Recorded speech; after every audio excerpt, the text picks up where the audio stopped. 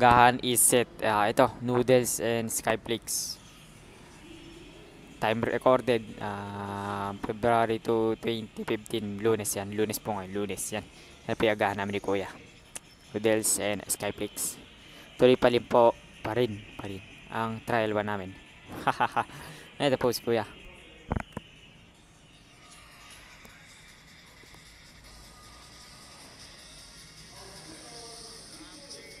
po si Kuya. Ako na.